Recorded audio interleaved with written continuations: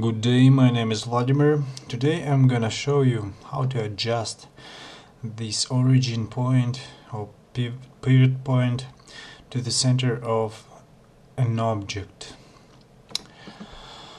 Uh, first of all, we're gonna click right button, right mouse button, and in this list select set origin and origin to geometry and now we see that this origin point is not in the center of this object.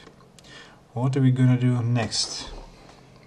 Next we're gonna apply all the changes. We try to apply all the changes this object we've been through. Uh, apply all, all transforms. And now we see that this origin is at the world or world origin. Now we're gonna bring it back to the object. Uh, for that we're gonna choose an object click right mouse button and select set origin origin to geometry. Now again see that this method didn't work. So we uh, go in edit mode and choose all vertices.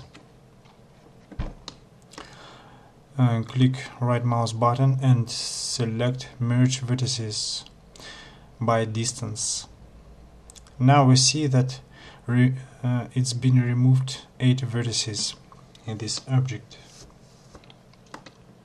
So we're gonna go to the object mode again and click to right mouse button.